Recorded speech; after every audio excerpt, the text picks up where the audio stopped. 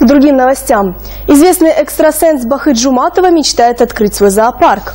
Финалистка седьмого сезона «Битвы экстрасенсов» рассказывает, что это будет не просто зоопарк, а настоящий рай для редких животных. Со своими планами Бахыт Жуматова поделилась с журналистами Первого Карагандинского.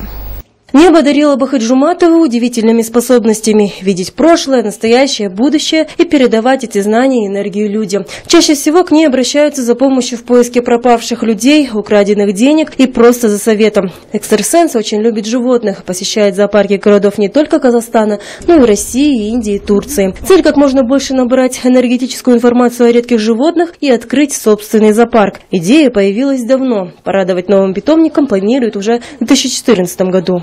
Я понимаю, что они живут в клетках, я все это понимаю, принимаю, но и однако все равно это, это, это все-таки, когда можно просто пообщаться, они когда у меня ничего не спросят, может только яблоко, вот как этот медвежонок, э, сидел готов, чтобы там его угостили. Первый раз пришла вот без подарков.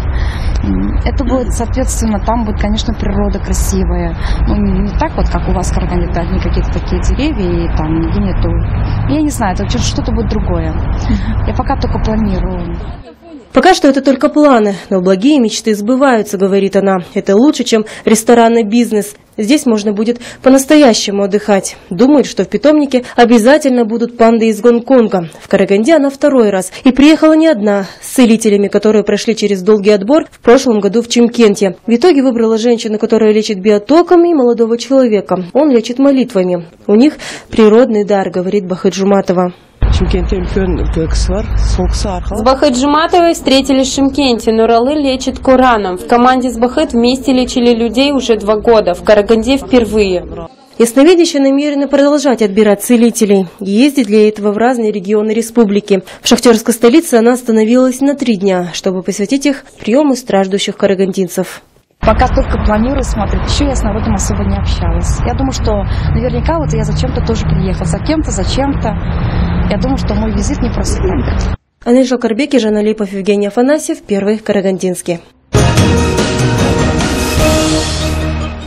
Спонсор выпуска новостей – компания Galaxy Group с торговой маркой «Алюгал».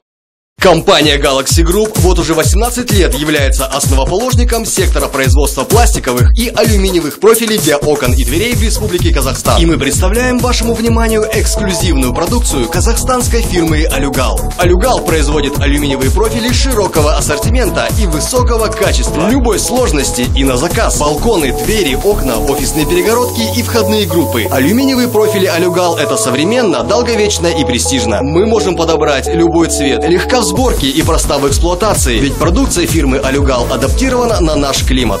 Алюминиевые системы – это Алюгал.